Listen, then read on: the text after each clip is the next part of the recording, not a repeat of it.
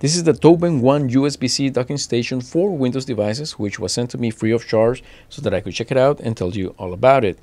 Now, again, this is for Windows devices. If you are interested in one that is also compatible with Mac systems, then you might want to check out this other one right here.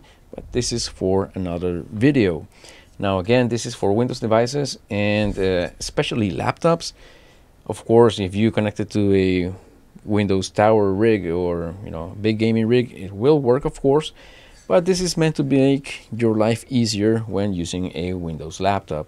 Now, it has a couple of rubber feet in the bottom to prevent sliding and it lays very flat on your desk. But it also has on the top this couple of, uh, I don't know, feet if you want to call it, or support stands, support flaps, I don't know how you want to call them. But they got a couple of rubber feet, or rubber tips rather, that will prevent your computer from getting scratched. So that's a very nice attention to detail right here. The hinges of these are very, very stiff, very, very secure. And as you could probably tell, they do require a lot of intention and actually a bit of effort to bring them out. And this is where you rest your laptop.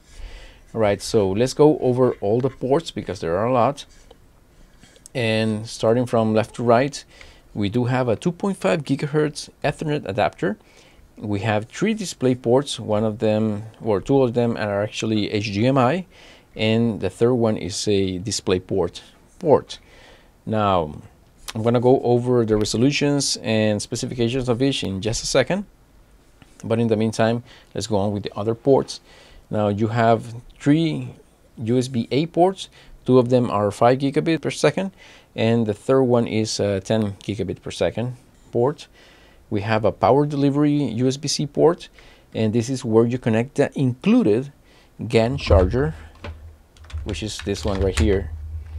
This is a 100 watt GAN charger and it is very small but very very powerful so I very much appreciate that it was included in the box. Also included in the box is this very nice braided USB-C cable with the TobenONE branding very very slick I really like the way that it looks and so this is how you will provide power to your laptop that is connected via the USB-C port, which is right here on the, on the right side. And we also have a USB-C port additional for, you know, whatever device you want to connect to this one. So this, again, will power your laptop as long as you have it connected to your GAN charger that's included. Now, on the sides, you also have some additional ports on the left side, no, actually the right side, you have an SD card reader, full-size SD card reader, as well as a micro SD card reader. You have your headset jack, meaning that it supports headphones with microphones, and you have a power button.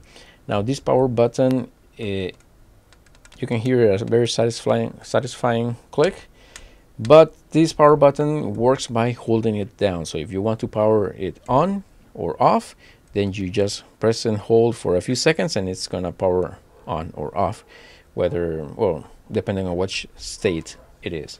It turns on by default so as soon as you connect it it will turn on. So that's clutch now on the left side we have a few additional ports. We have a Kensington lock so that nobody will steal it. And you have two additional USB-C ports which support 10 gigabits per second. Now back to the displays. You can use all three displays at the same time and they do not require drivers.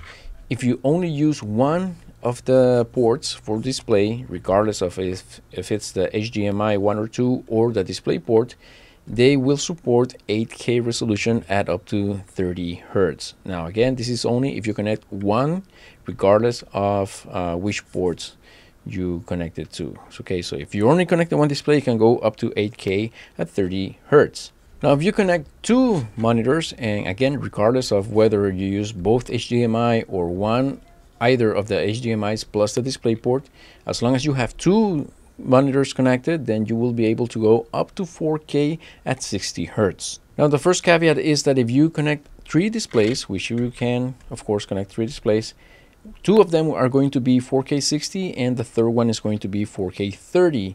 Now I believe that the third one, meaning the one that will have 4K 30 is actually the port which is labeled HDMI 2. Now these configurations are assuming that your Windows system supports DP 1.4 with DSC or MST. Now, if your system has DP 1.4 but does not support DSC or MST, then the resolutions are a little bit different. If you connect a single monitor, you will still have 8K 30, but if you connect two monitors, then it's a little bit different. If you use DisplayPort and one of either HDMI ports, then the DisplayPort is going to be a 4K 30 and whichever HDMI port that you connect is going to be 1080 60. And if you use both HDMI ports, then the first one, HDMI 1, is going to be 4K 30, and then HDMI 2 is going to be 1080p 60. And if you decide to connect all three displays, then all of them are going to be at 1080p 60.